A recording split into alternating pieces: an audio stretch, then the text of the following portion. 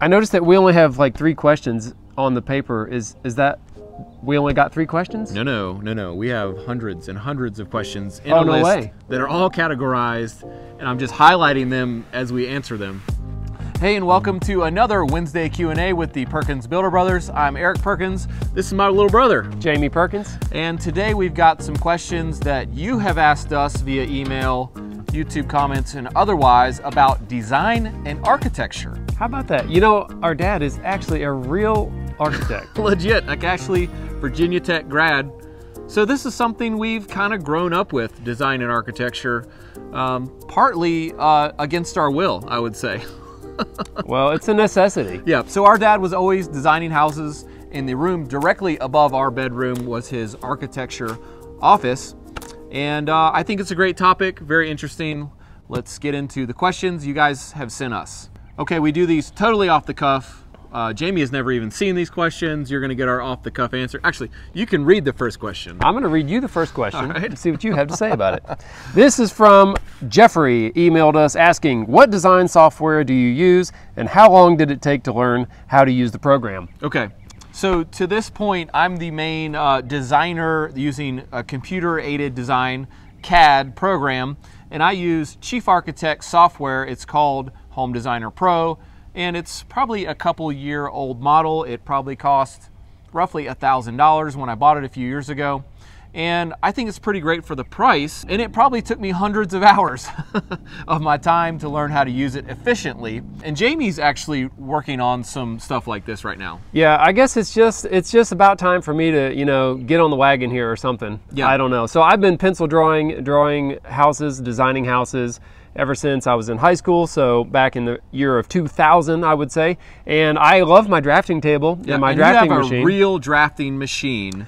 It which is. I'll, I'll put a picture up that if you don't know what that is. It is, and that's a really easy, uh, inexpensive way to get started into drafting that will make you way better, like really fast, if you're Yep. just used to using a straight edge and trying That's to hold it.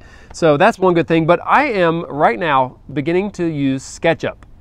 And a lot of people use that, by the way, Yeah, uh, SketchUp. to design things. Uh, SketchUp is it's a very easy to learn program, and it's I, I don't know I don't want to say it's for beginners yeah, because they it- have a free version though. There's a free is great. version, but it does have very advanced features also. Yep. So I'm going to be using the pro version, which you have to pay about $300 a year to subscribe because there's online content you have access to. Mm-hmm. Uh, lots of things about residential. You have access to uh, cabinets, Mm-hmm. pre-made doors and windows by all kinds of manufacturers. You just drag and drop those into your designs, so you don't spend all your time trying Yep. to design a window because Yeah. somebody already did that. And I think Yeah. your programs Yeah, have a lot of things. Yeah, like let's that. jump back into the Home Designer Pro. Yeah. Which we actually use for the, the houses we build. It does have a lot of those built-in things like cabinetry, doors, windows, Mm-hmm. furniture. And that's why I like it because it's simple enough to do what I need, but not so overcomplicated that it bogs me down. Um, and, and going from that from pencil drawings, which we used to do, was a huge leap forward because now we can revise plan, uh, plans quickly Yep. uh, without erasing the whole drawing and erasing Um, through the paper. And, yeah. and then also we can do 3D walkthroughs and 3D modeling easy because clients don't want to buy a house that they've never really seen what it looks like. You, Yeah. you wouldn't go buy a dress without looking at it, right? I wouldn't buy a dress. but anyway, that is really true. And people almost expect it nowadays for you to be able to do that. Yeah. And they are not always as good at imagining what something will look like as somebody who builds houses every day. They're used to taking a Mm-hmm. flat print of drawings, converting it into a real life full size house. So your your average person Yes. doesn't do that all the time. They cannot just visualize it, you know. So Um, it's very handy to, is. to help describe what the house is going to look like in its entirety Mm-hmm. to a client client and help us kind of make a sale. yep. And I won't be making piles of eraser dust like I used to. Yeah. All right, we talked too long. Let's go to the next question. All right. Our second question for today is coming from Christopher via email. His question is Do you have any experience using plans from an online plan website? I'm assuming you can purchase an engineered set of plans there. So, okay. All right. Okay. Um, we have never straight up used a full set of plans off of a website. Uh, we have had customers who have already purchased plans like that, or they come to us with the kind of preliminary, like they give you the free prints of just the stuff that you couldn't really build a house from. Mm-hmm. You know, it doesn't have all the exact dimensioning, but it does have an, a scaled floor plan An idea. An idea. And I usually tell people if they call me and say, "Hey, I'm looking at these plans online. Should I just buy them?" I say, "Nah, don't waste your money because we're going to need to change a lot of things. I already see things that are, you know we're not going to want to build like this plan is drawn. And every house that we build is custom designed for the house site it's going on. Yeah, and so that's a, that's a big thing around us is that you know we're on the side of mountains, so some sprawling house plan won't fit usually, or the shape of it doesn't fit, or or the view windows are like facing the bank or something weird. Mm-hmm. And and we usually tell people, hey, if you need to modify a plan that's online, just have us just draw it to start with because it's going to be such a headache to go back and forth with someone over a phone instead of sitting down with me in person who's who's been physically to your site Mm-hmm. and knows the dimensions and the view and everything about it. Uh, One other thing though. Oh, actually, oh, what's that? um, a lot of those plans, uh, you know, in my opinion, are not very efficient to build. You'll have a house that's like 46 foot 7 and 3 eighths long. And it's like, why didn't you make it 48 feet? Because Yeah. that's divisible by 4 and 8, Yep. which is the dimensions of the all the lumber you're buying, by the way. So you're just going to cut off like 1 foot 3 inches of every plate and every piece of subfloor and every piece of roof sheathing Yep. and throw it in the trash instead of having one foot three more inch house. Does that make sense? It does make sense. So we try to design houses that are increments of two, four, or eight feet in almost every direction because it's more mm-hmm. efficient and faster to build. Yep. There's more we could say, but I feel like we could talk so long on Yeah. this topic that we could just Yeah. I don't know. We're gonna run out of we're gonna run out of camera space. All right, so let's shut it off and go to question number three. Okay. Ismael, Sorry if we mispronounced it. forgive me if it's if it's something different. Ismael said, "How much detail do you like to see on the plans for residential projects? Do you like every little detail or a builder set that has less detail?" okay. You want to tackle that one? I will tackle that one. Um, given that we design all of our own plans, Mostly. uh, well, mostly, Probably 90% of them in the last five years. Okay. And given that we know that we're going to be the ones building it, we do leave out a lot of detail that would be included if you purchase a set of plans. That's right. I think if you purchase a set of plans, I don't know how many pages it might be. Could be a lot. It could be 15 to 20 pages. It could be. It could be more. I think that normally we may have four pages, Or five. maybe We usually five. have a floor plan, elevations, maybe one section drawing, yep. and, and that's it.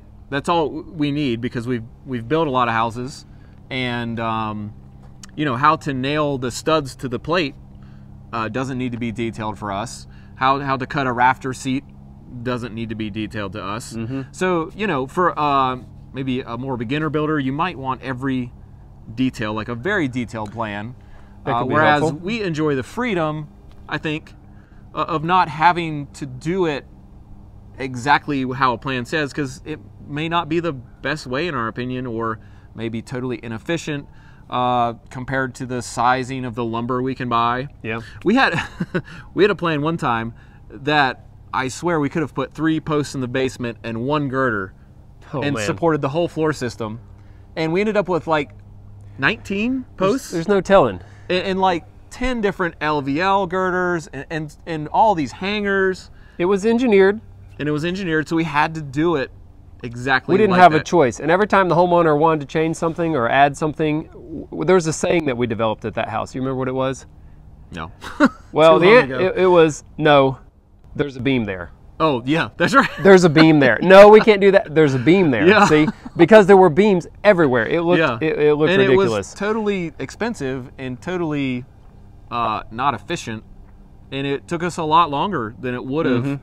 if we could have just said, "Hey, man, this doesn't make any sense. Just just put a beam down the middle, break your floor joists on it. We'll go Well- on with our day. well, beam. What beam? What boom? We're done. You know, also um, a, a set of plans from an engineer might include uh, or an architect all the kitchen cabinet drawings. That's right. It might involve uh, an elevation view of every wall that has cabinets, including probably built-ins or fireplaces, and potentially like closet shelving, Mm-hmm. bathroom vanities, shower details, and things like that. I mean, it could go on and on, really. And and so you know that's fine and all, but we do like to have a little more flexibility to kind of do what makes sense. I would say. Um, sometimes the homeowner doesn't know that the architect has designed them fifty thousand dollar built-ins in their living room. The way they're designed in Mm-hmm. the drawings might be ridiculously hard to build. Yep. And we could say, well, we could do this a lot easier way and save you a bunch of money, and you'll still love it.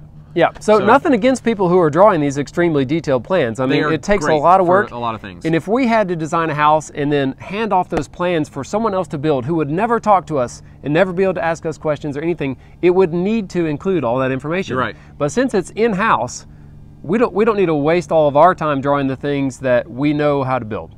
That's right. P- Basically. I think that's a good summary of, Yes. of what this whole 10 minutes of talking was about. I know that was long. Yeah.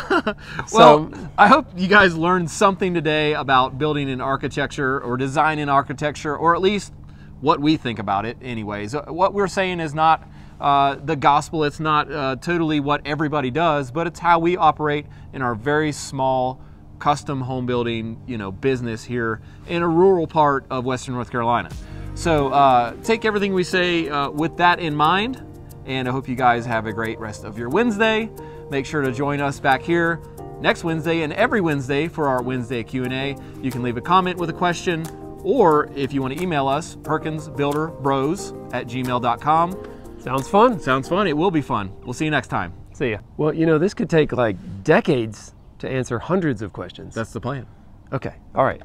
As long as you know that Okay, no, I'm good with it. I mean, it just take a while. It's no yeah big deal. yeah it will Okay.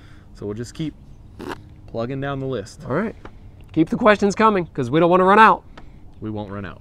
Um, can we be done reading questions and like go to Taco Bell or something? Yes. Okay. That's a great idea.